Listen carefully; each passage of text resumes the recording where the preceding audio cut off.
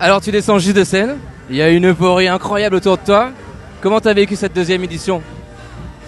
Comme dans un rêve. euh, je t'en avais parlé déjà parce qu'on avait déjà parlé entre eux un peu off. euh, J'espérais de cette deuxième édition euh, du Soleil, du Monde, un line-up éclectique et de qualité.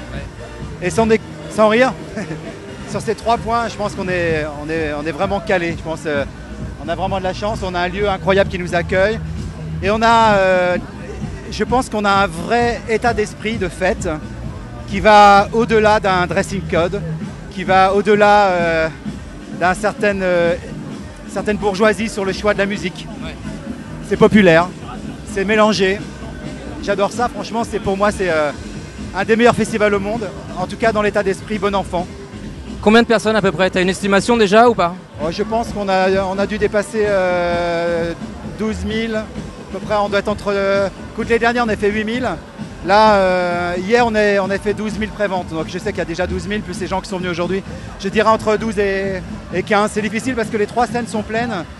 Ce sont des, des jauges de 5 000 personnes. Donc, tu vois, à peu près. euh, Et alors t'as pas arrêté de dire que le public français, enfin parisien, était le meilleur du monde?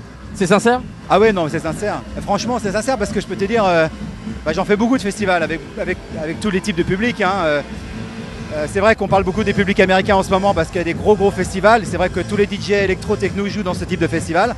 Mais c'est vrai que jouer à domicile, comme un joueur de football, c'est vraiment irremplaçable. Mais euh, non, franchement, le public est vraiment bien.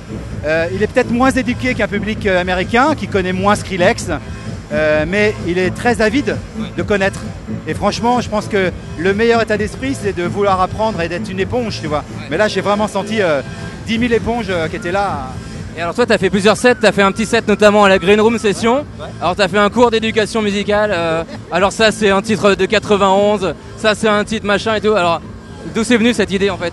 Écoute, euh, je voulais profiter euh, de faire un set alternatif euh, en disant je vais jouer une heure et je vais jouer que les titres euh, m'ont donné envie d'être DJ. Euh, bien souvent, euh, tu sais, j'ai des, jeunes qui démarrent qui me disent mais euh, qu'est-ce que tu écoutais Qu'est-ce qui t'a donné envie d'être DJ Alors donc j'ai pris les 18 titres, euh, 19 titres qui ont qui ont pour moi formé la musique techno. Alors j'ai pris Laurent Garnier, j'ai pris Daft Punk, j'ai pris Plastic Man, j'ai pris beaucoup de choses belges, Apothéus, c'est des, choses du label RSS, Frank de Wolf. J'ai pris des gens qui m'ont apporté ça. Et donc c'est vrai que bon, les gens étaient un peu paumés parce que c'est vrai que tu avais de la New Beat qui, était à 109 BPM, alors tu vois, très lent. Donc j'ai un peu justifié mes choix. J'ai dit ça, c'est important parce que en 89, j'ai- je suis allé dans une discothèque qui s'appelait Le Boy. Et euh, le premier son que j'ai entendu quand je suis arrivé au Boy, c'était ce titre-là. Tu vois, j'ai expliqué. C'était Rock to the Beat. Donc voilà. Mais euh, je pense que c'était sympa et c'était, euh, sincère de dire, voilà, je vous transmets un truc. Moi, c'est ce qui me faisait, c'est, ce qui me faisait. Et après t'as fait ton show Invasion, le même show que tu as fait euh, tout l'été partout dans le monde. Voilà, ben, disons que j'avais, j'avais lancé ce show Invasion en France euh, en 2010.